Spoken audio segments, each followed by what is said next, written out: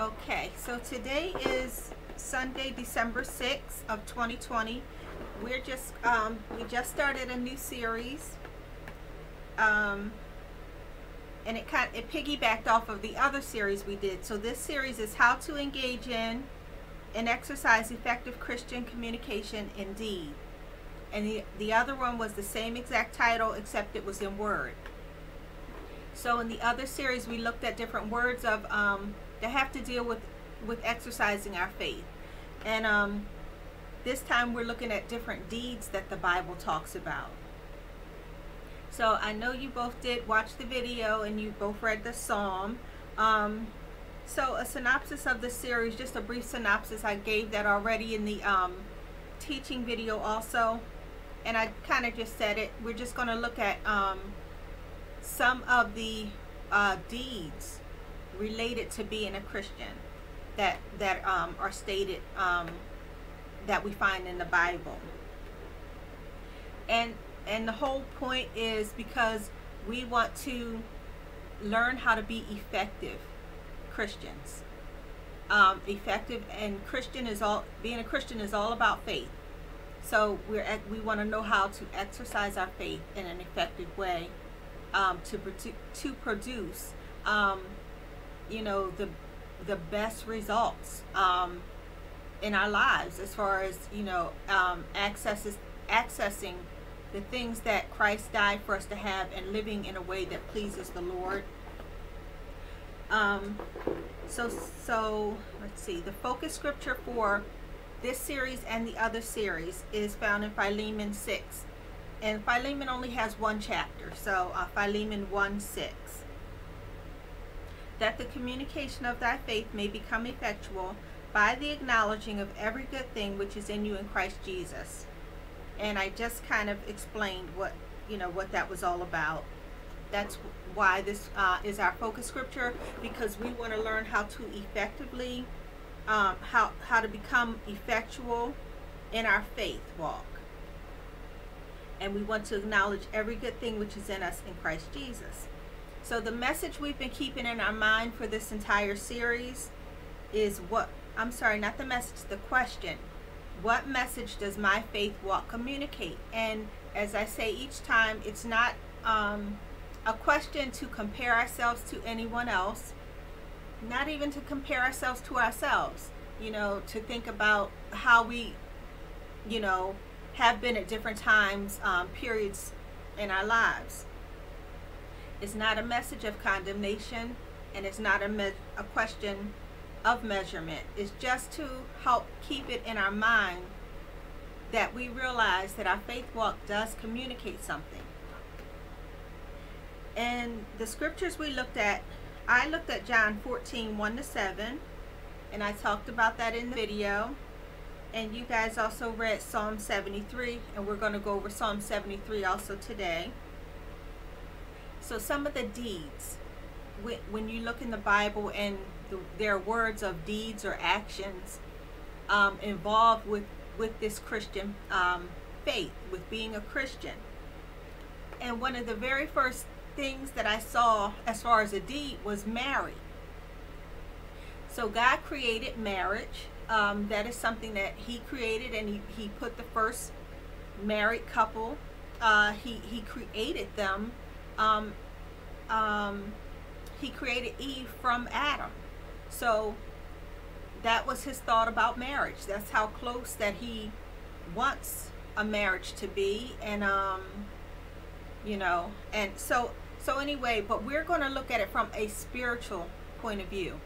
Because not only did he create marriage among people, but he created marriage among uh, Christians.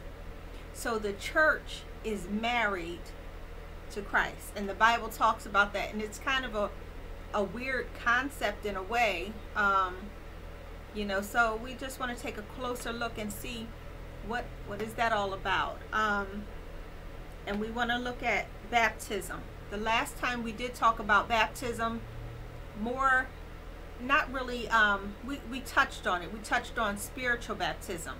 This time we're going to talk about water baptism. We're going to talk about communion, fasting, praying. The Bible talks about binding, loosing, and casting.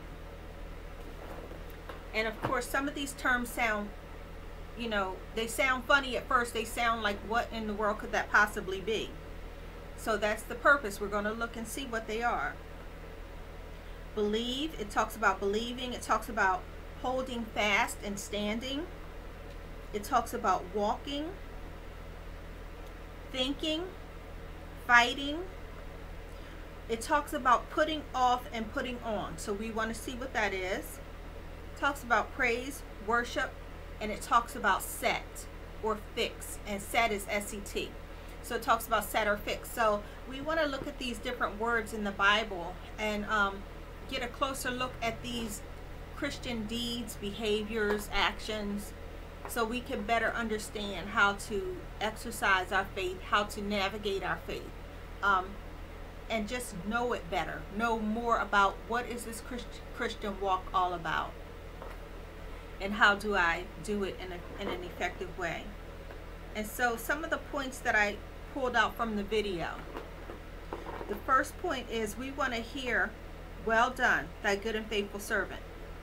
That is kind of the goal of Christianity.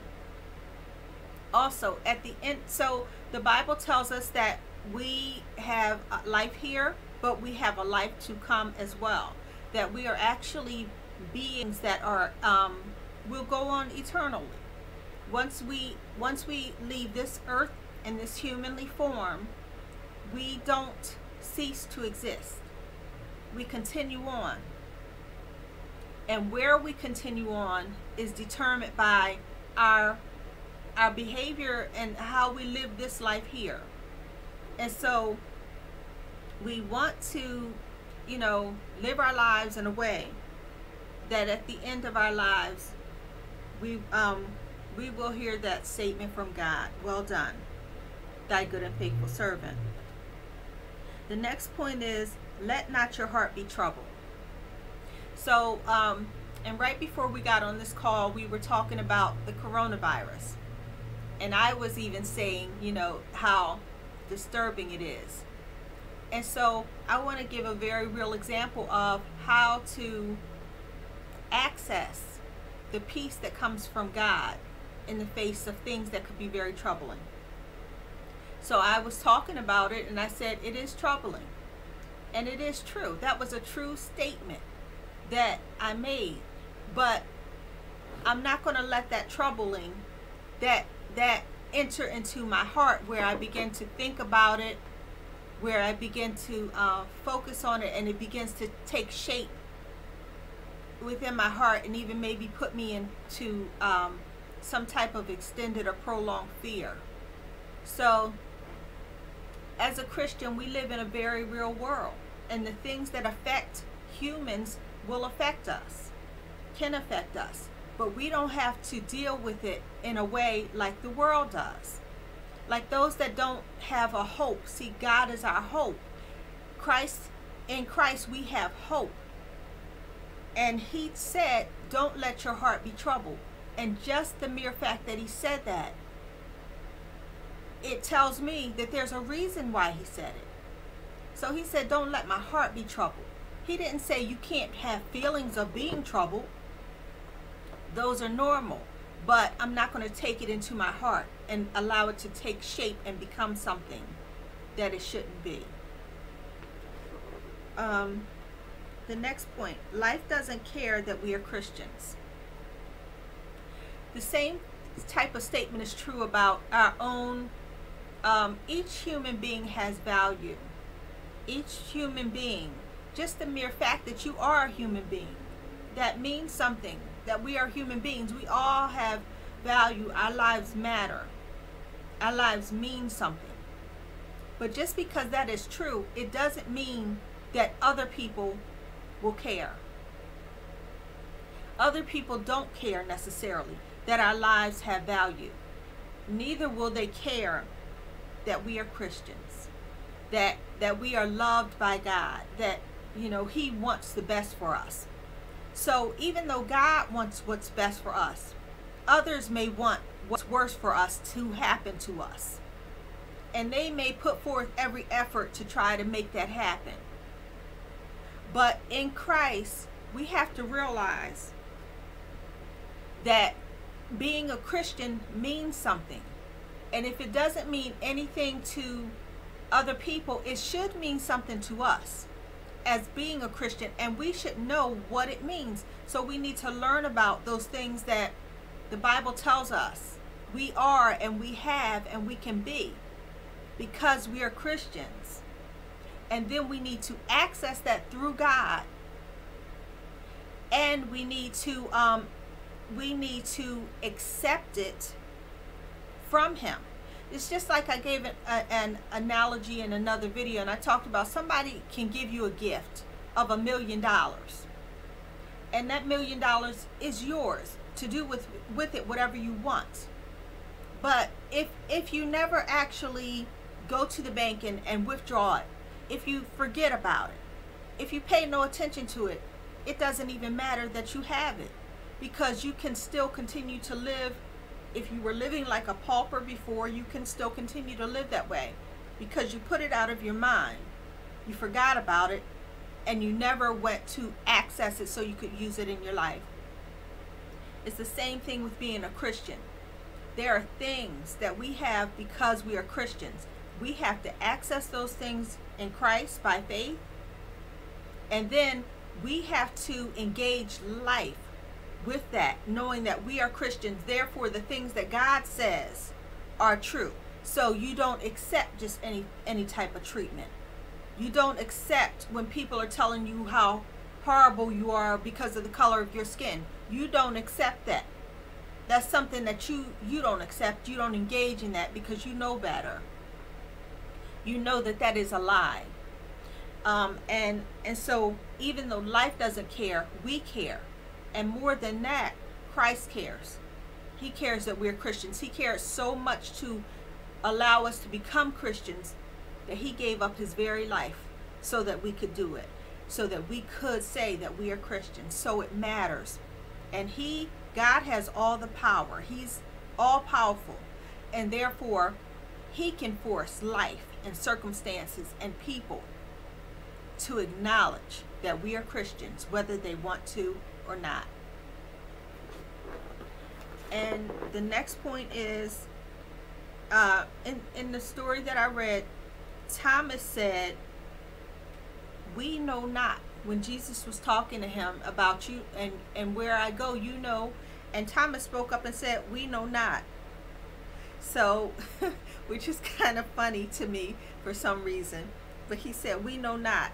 And then in response, Christ gave further information to Thomas. So it, in, in this example, it's almost like, you know, like a father son type thing, or, you know, just it showed the closeness of the relationship. So you can contradict, as children, we, we can contradict our parents we can our parent can say you know that this happened or that happened and that's happened with me and Anika a lot actually. Where Anika will say mom this or that and I'll say no and um and she'll say mom and she'll you know she'll come back with well I don't remember or whatever. We can do the same with Christ with God and then he elaborates further. He gives more information in response, Christ gave further information when we get to so when we get to a place in life where things don't make sense, we can tell Christ, we can tell God, Lord, I know not. So if we're dealing with a situation, we don't we have no clue what to do with that situation, how to handle it. We could tell him, I don't know what to do. And he will help us to find the way, the truth, and the life of the matter because he is God. And so he he has all of the answers. People, we as people don't have all the answers. But our heavenly Father does. He always has the answers and he always has the right answers. And so we can talk to him. Um, the next point is our Christian communication is a result of our Christian conversation with the Lord in other words, it's a relationship. And the closer that you are to God, the closer relationship that, that you have with Christ, the more effectively you will be able to live out your Christianity and be effective in your Christian walk. And um, so at the end of the day, we have to remember this is about a relationship. It's about a relationship with a loving Father. And um, that's where we need to approach it from at all times. No matter what's going on in our lives, we don't have to feel afraid to go to God. He wants us to come near to Him, He wants us to communicate with Him and have a conversation with Him ongoing that goes throughout our lives. And so that's all of the points for the video. So I want to go to the scripture now. And it was Psalm 73. I think Anik read last week, so I think Faye reads this week. Faye, could you read Psalm 73? Yes. Okay. Truly God is good to Israel, even to such as are of a clean heart. But as for me, my feet were almost gone. My steps had well nigh split. For I was envious at when I saw the prosperity of the wicked. But there are no bands in their death, but their strength is firm. They are not in trouble as other men, neither are they plagued like other men. Therefore pride compasseth them about as a chain. Violence covereth them as a garment. Their eyes stand out with sadness. They have more than heart could wish. They are corrupt and speak wickedly concerning oppression. They speak loftily. They set their mouth against the heavens, and their tongue walketh through the earth. Therefore his people return hither, and waters of a full cup are wrung out to them. And they say, How doth God know? And is there knowledge in the Most High? Behold, these are the ungodly who prosper in the world. They increase in riches. Verily, I have cleansed my heart in vain, and washed my hands in innocency. For all the day long have I been plagued and chastened every morning. If I say, I will speak thus, behold, I should offend against the generation of thy children. When I thought to know this, it was too painful for me, until I went into the sanctuary of God. Then understood I their end. Surely thou didst set them in slippery places. Thou castest the uh, town into destruction. Uh, how are they brought into desolation as in a moment? They are utterly consumed with terrors, as a dream when one awakens. O Lord, when thou awakest, thou shalt despise their image. Thus my heart was grieved, and I was pricked in my reins. So foolish was I and ignorant. I was as a beast before thee. Nevertheless, I am continually with thee. Thou hast holden me by my right hand. Thou shalt guide me with thy counsel, and afterwards receive me to glory. Whom have I in heaven but thee? And there is none upon earth that I desire but besides thee. My flesh and my heart faileth, for God is the strength of my heart and my portion forever. For lo, they are, for lo, they that are far from thee shall perish. Thou hast destroyed all them that go a whoring from thee.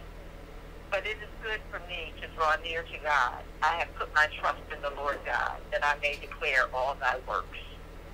Okay, thank you, Faye, for reading that. And may the Lord add a blessing to the reading of his word. So I'm going to go back over it now and um, break down the, the different, um, I'm going to go over it and break down those different chat, um, sorry, verses. So, let's see. So verse 1, truly God is good, excuse me, to Israel, even to such as are of a clean heart.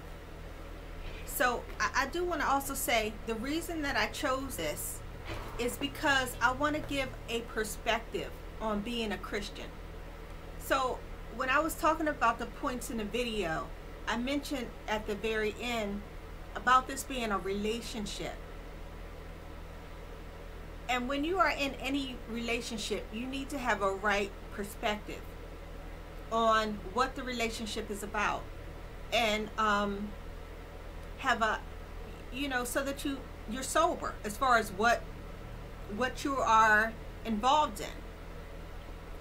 We as christians need to have a right sobering understanding about what being a christian is and i thought this was a good psalm to help us see that because a lot of times we could be people have become disillusioned being a Christian and walked away from God because they did not have a right understanding of the relationship they were in. But when you have a right relation a right mindset about what you're dealing with, then it will help you. Um, it'll help you when things don't seem right, when you start to have questions, when things don't add up. So, uh, verse 1 Truly God is good to Israel, even to such as are of a clean heart. This is telling us right at the front who the who we are in a relationship with. We are in a relationship with God. Now this is the Old Testament, so at the time his people that he were in a relationship with in the Old Testament were only the Jewish people, Israel. Now, in in the New Testament, he also accepted Gentiles into the fold of being a Christian. Uh, uh, well, not of being a Christian, but being a child of God. So, um, so we can now be a child of God as well. Just like in the Old Testament, there were only Jewish people that were, they were children of God, or those that uh, um, those that converted to Judaism. But now in the New Testament, Gentiles, and a Gentile is anybody who is not a Jew. So if we've accepted Jesus Christ as our Lord and Savior, our personal Lord and Savior, this applies to us.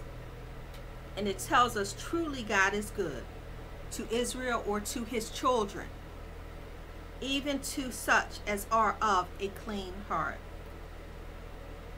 Verses 2 to 3 but as for me my feet were oh and i do i did also want to um, sorry i'm sorry i didn't say this right up front.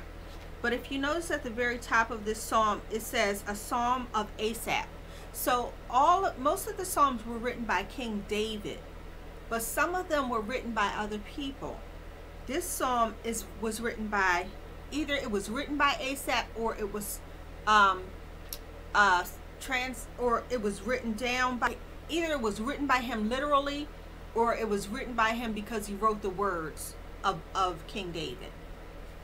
But likely most sources say it was written by that I read say that it was written by Asaph. So Asaph the we know that in the Bible words have uh, names had meaning at that time. And so since this is Bible study, I just, you know, want to add what I found out about the name, the meaning of the word, the name Asaph. It means a collector or a gatherer or convener. So he's someone who brought things together or brought people together. And he was a Levite and one of the leaders of David's choir. There were three other men in the Bible that had that name as well. And the Psalms that are attributed to Asaph is Psalms 50, and then Psalm 73 to 83 as well.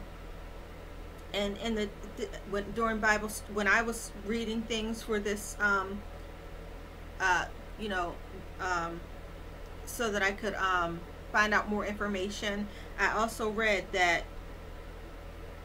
he was listed in Second Chronicles 29:30 as a skilled musician and a seer. So a seer in the Old Testament is a prophet there are other scripture ref, uh, references where Asaph is mentioned. So, okay, let me go back to breaking down the, the verses now. So now I'm at verse 2 and I'm going to read 2 and 3. But as for me, my feet were almost gone.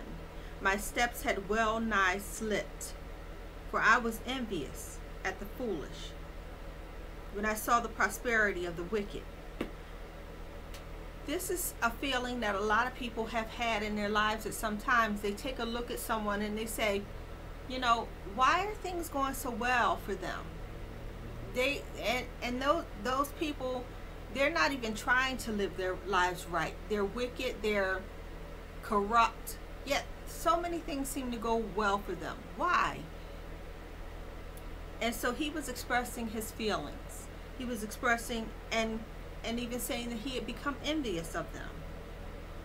And then verse 4, he's still thinking about them and talking about what he observed in his own mind when he looked at these people. He said, For there are no bands in their in their death, but their strength is firm. So here, bands is like pains. Like they don't even die harsh deaths. They just kind of die easily. There are no bands in their death, but their strength is firm. They are not in trouble as other men, neither are they plagued like other men. This is this is the writer thinking these things. Therefore pride compasseth them about as a chain. So so um so like a necklace. Violence covereth them as a garment. So for clothes they, they have violence. That's what covers them is violence. Their eyes stand out with fatness they have more than their heart could wish. They have excess. They have more than they would ever need or could ever use. And there are people like that today. They have more money than they could ever even spend in this lifetime. They are corrupt and speak wickedly concerning oppression. They speak loftily, so they're arrogant, prideful people. They set their mouth against the heavens, and their tongue walketh through the earth. So, so they they have access and they have the ear of people people listen to what they have to say. Therefore, his people return hither, and waters of a full cup are wrung out to them. So, so people bless them, and a lot of times that does happen with corrupt people or people, you know, that because other people want to get on their good side, and so they do good things for them, hoping that they'll return, you know, that they will return the favor. Now I'm at verse 11. And they say, How doth God know? And is there knowledge in the Most High? You've heard people say that, you know, I don't even believe in God. So that's kind of like saying, How does God know? Because they're saying that I don't even think there is a God. So how would he know? Something similar to that. Um, verse 12 Behold, these are the ungodly who prosper in the world, they increase in riches. Verily, I have cleansed my heart in vain and washed my hands in innocency. So he's saying basically, am I trying to be a good person for nothing? It seems like these wicked people are doing much better than me in, life. So he's thinking things through and he's kind of just writing down what he's feeling. I'm at verse 14. For all the day long have I been plagued and chastened every morning. If I say I will speak thus, Behold, I should offend against the generation of thy children. When I thought to know this, it was too painful for me. So he's saying everything that he thought about, all of these thoughts that he was having in his mind about these wicked people. So he's he's trying to live for God. Just like us, we're trying to live for God. Yet he was looking at life and the things that were happening and he's like, why even do this? these other people they they don't even care about god and look at how well life treats them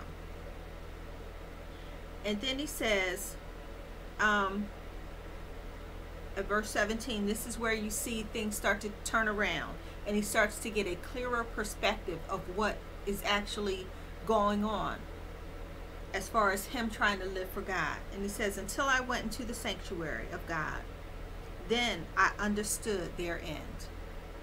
So he's saying, okay, learning about God gave me clarity, gave me understanding about what this whole life is about and about those that choose to live their lives in a good way, way and those that do not. Then he says in verse 18, Surely thou didst set them in slippery places. Thou castest them down into destruction. He's saying this is what's going to happen to them.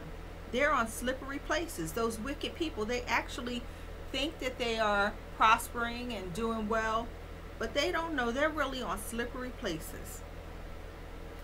Verse 19 How are they brought into desolation? As in a moment. He's saying that that's how swiftly all of that wealth and prosperity and everything can be taken away from them in a moment. They are utterly consumed with terrors. As a dream when one awaketh. So, O Lord, when thou awakest, thou shalt despise their image. So we know that God never sleeps. The Bible tells us that he never sleeps nor slumbers. But he's saying when you finally um, take action against them, when you finally take a, a, a look and now you are taking, we know that God knows everything also. But when you finally take a look to take action against them, you shall despise their image because God does not like wickedness. So he's going to despise the wicked things they've been doing. Thus my heart was grieved and I was pricked in my reins. So foolish, so foolish was I and ignorant. I was as a beast before thee. So he now he's going back to his own thoughts that his the way he was thinking previously that they were doing so good and that you know why is god letting them prosper he's saying now when i think about that i was having these negative thoughts now i'm grieved that i, I in, in other words kind of like i'm embarrassed that i felt that that i was thinking that way. I realized that i was foolish. I was as a beast before before them so he was he was thinking good and bad kind of like he was not thinking on a level of someone who can think things things through. He was thinking on the level of a beast that can't really animals don't necessarily have the ability to reason like people. So they're thinking, you know, what is happening in the moment as far as how good things are. But we as people can realize that sometimes the good doesn't happen right away. And that doesn't mean that it won't get be good but it just means that it didn't show up yet. Now, uh, verse 23 Nevertheless, I am continually with thee. Thou hast holding me by my right hand. That's what he's telling us. He's letting us know God is this close that he is actually holding our hand. Like right now, we are talking on the phone. We are all in different places. If we want it, we can't even hold hands. But God can hold each of our hands right where we are, no matter where we are at any time. If you're ever alone, wherever we are, God always can hold our hand. That's how close He is to us.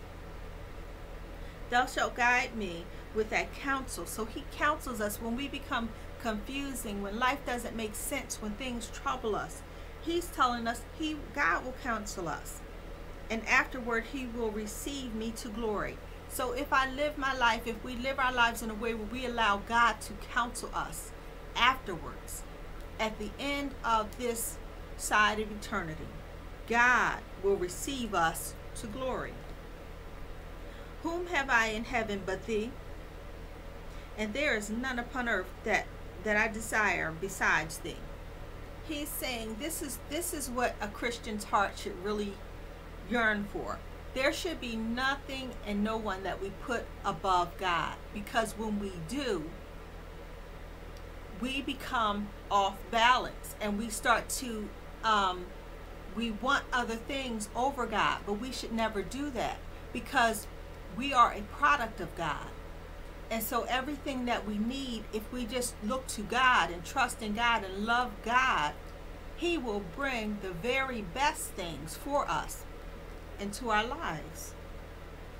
So all good things flow through him. He's the creator of everything. So he's going to distribute the good things to us that we need in our lives. Verse 26 My flesh and my heart faileth, but God is the strength of my heart and my portion forever.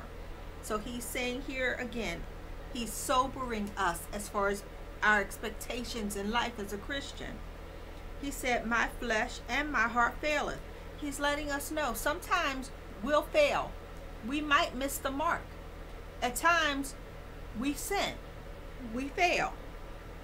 Sometimes my heart fails as far as where my trust should be or the purity of my heart.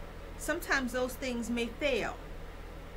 But God is the strength of my heart. So when I when when I'm failing, He's my strength. He's who I go to again to get strength and help me to be right. He's my strength and my portion forever. So he's telling us forever. God will ever be with us forever. He's never going to leave us. He's never going to um, not be there. He is someone we can trust in. He's faithful. For lo, they that are far from thee shall perish. He's saying what the, what the outcome is going to be for those that are wicked. They shall perish. Thou hast destroyed all them that go a whoring from thee. And this word, a whoring, is talking about people that may have been, they were supposed to be in a covenant relationship. Marriage is spiritual marriage with God is a covenant relationship. But when you go astray from Him, they're calling it a whoring, or like we would say, a cheating today, like cheating. But in the Bible, was calling it a whoring. And then verse 28 But it is good for me to draw near to God. I have put my trust in thee, in the in the Lord God, that I may declare all thy works. That's the only way we are going to ever get close to receiving all the goodness that God has for us is by putting our trust in him and by re and receiving it by faith. And so that's the end of that um, that's the last verse in that in that chapter. So I'm going to go ahead and wrap up and um what and, and then we can continue with our discussion portion. But I'm going to wrap up the Bible study and then we'll continue on with the discussion. Um, but I also did um, construct I construct a prayer one as an example because I, I talked about prayer before and I talked about how we can take things from the Bible and use it and we can create prayers. We don't always have to think them up off of our mind. We can actually take scriptures from the Bible and construct prayers for whatever situation. And so um, I did construct this prayer, and so I'm just going to say this prayer. Father God in heaven, I beseech thee from a most sincere heart on this blessed day that you've made and have so graciously bestowed upon all that dwell therein. On behalf of every hearer of this prayer and all those that we and thee hold near and dear, that you, omniscient, omnipotent, omnipresent, sovereign God, most high, will keep, protect, provide, shield, shelter, defend, help, heal, deliver, calm, comfort, console, communicate, and abide at all times, every moment, every minute, every hour, every day, with for and on behalf of every individual in every capacity, complexity, and consideration in this life as you lead us day by day and guide us in the way, the truth, and the life with your divine GPS so that we may each someday arrive safely on that heavenly shore as you welcome and greet us with these words, Well done, thy good and faithful servant. Yet while we are on this side of eternity, I ask that the words of my mouth and the meditation of my heart be acceptable in thy sight, and that thou mightest continue to bless us, keep us, Make your face shine upon us and be gracious to us. Lift up your countenance upon us and give us peace. In the precious name of Jesus, your one and only begotten Son, and may all that agree with that prayer say amen. Amen. Amen.